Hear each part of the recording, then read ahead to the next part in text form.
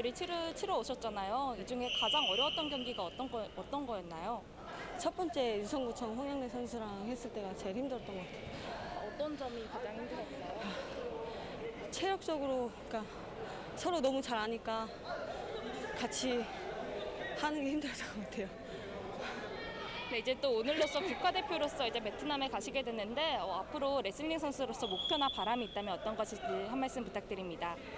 여자 레슬링이 리우 올림픽에 출전이 한 명도 못 나가서 좀 안타까운데 이번 계기로 더 여자 레슬링을 발전시켜야 될 것 같아요. 네, 알겠습니다. 오늘 힘든 경기 치르신 제주도청의 엄지은 선수 만나봤습니다. 인터뷰 감사합니다. 감사합니다. 제주도청의 엄지은 선수 만나봤습니다. 자 이제 66kg급 이제 결승전인데요. 그레코 로마형 창원시청의 오상훈 선수와 울산남구청의 정지현 선수의 맞대결입니다. 자 말씀해 주셨다시피 강한 기본기와 탄탄한 스탠스로 결승전까지 올라온 오상훈 선수고 또 정지현 선수라고 한다면 이 커리어에 있어서 최정점을 찍은 선수가 아니겠습니까? 네, 오상훈 선수 아주 안정된 경기를 하면서 올라왔습니다. 네. 그리고 아테네 올림픽 금메달리스트 정지현 선수 힘겹게 사실 올라왔어요. 네. 준결승전에서. 자 여기 경기의 승자는 지금 1회전에서 탈락한 삼성생명의 유한수 선수와 최종 선발전을 거쳐야 그렇죠. 되는데 경기가 끝나고 30분 후에 에, 네. 최종 경기를 하게 돼 있습니다. 지금 오상훈 선수의 경기는 많은 서- 시청자 여러분들이 저희 중계를 통해서 지켜보셨지만 정지현 선수 같은 경우에는 윤상균 선수를 9대 0 테크니컬 포이승을 거두고 올라왔고 이후 4강에서 최기욱 선수를 6대 3으로 힘겹게 역전승을 거두고 올라왔습니다. 네.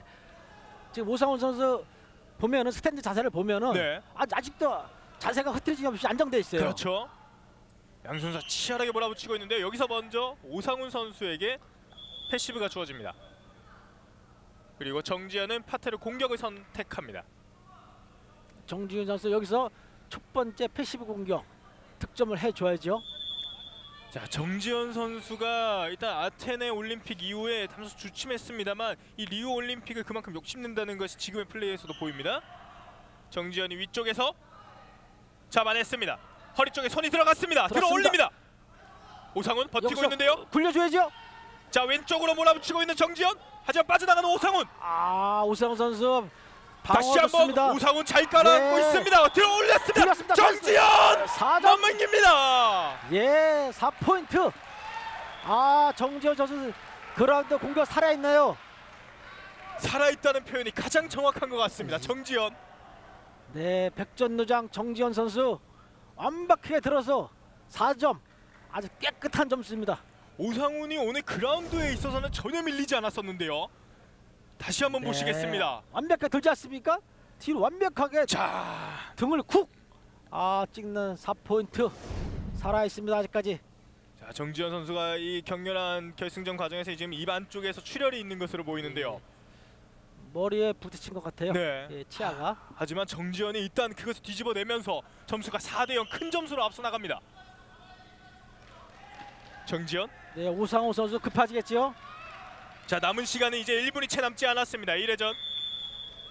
하지만 오상훈 선수도 배터리 공격을 하면은 네. 충분히 점수를 획득할 수 있는 그런 어, 기량을 가진 선수예요. 그렇죠. 오늘 돌리기로 득점을 많이 가져갔었거든요. 여기서 점수를 뺏긴다면 아주 또 긴장이 될 것 같아요. 네. 4대 0 강한 힘 대결. 그렇죠. 패시브 하나 따지요. 정지현이 패시브를 얻습니다. 그리고 네, 오상훈은 파테르 공격을 선택합니다. 모든 관중들도 숨을 죽이고 이 경기를 지켜보고 있습니다. 그렇죠. 기자분들도 참 많이 오셨어요. 네. 오상훈 오늘 이 과정에서 많은 득점을 잡아야죠. 냈습니다. 먼저 오상훈 선수 오상훈 압박을 해야죠. 무게. 중심을 왼쪽으로 두고 압박을 하고 당겨줘야 돼요. 자, 다리가 넘어갔습니다. 걸렸습니다, 이제. 들어 올립니까? 정지현 정지현 깔려서 들어 올려지지 않고 있는데요. 오상훈 더 압박을 해야죠. 더 당겨줘야 돼요. 가슴 쪽으로. 오른쪽으로 다시 한번 오른쪽 왼쪽 선택을 고민하고 있습니다. 하지만 여기서 역시 정지현 선수 아주 방어 기술 네 보십시오. 다리가 완전히 어, 가로 쪽으로 완전히 들어왔어요. 다리가. 버텨냈던 예, 정지현 무릎이 어깨까지 들어왔어요. 이제 남은 시간은 5초입니다. 1회전 오상훈과 정지현 여기서 1회전이 종료가 됩니다. 정지현이 한번 크게 뒤집어내면서 이제 점수를 4대 0 큰 점수를 한 번에 얻어냈는데요. 아, 정지현 선수 매트가 벌어졌어요 안쪽이. 네. 예, 발목이 들어가면 발목 부상이 스- 그렇죠. 예, 생기죠. 아 지금 네 이창건 해설위원이 말씀해 주셨다시피 매트 사이가 지금 간격이 벌어지다 보니까 부상 방지를 위해서 예. 그 부분에 대해서 다시 메꾸고 있습니다. 예. 그만큼 아. 격렬한 경기를 펼쳐주고 있었어요 양 선수. 매트가 벌어지면 발목이 매트 사이로 들어가면은 네 골절이 될 수가 있어요. 정말 치열한 경기가 펼쳐지고 있다는 것이 매트가 밀릴 정도였습니다. 아 정지현 선수 들어던지기 완벽하게 보여줬습니다. 그렇죠.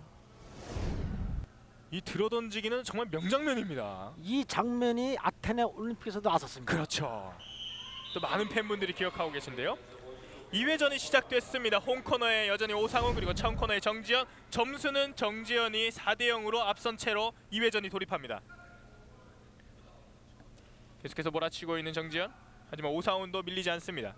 양 선수 모두 파테로 자세를 조금 더 취하는 기회를 노리고 있을 텐데요.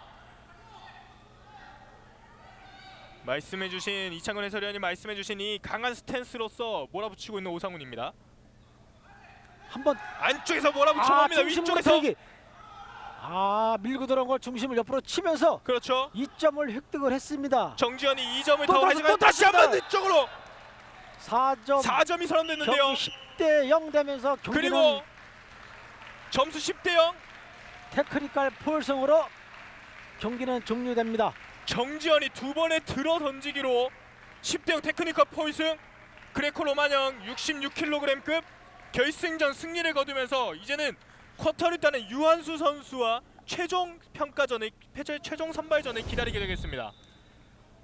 류한수 선수, 정지현 선수 빅매치 네, 아주 기대가 매치입니다. 됩니다.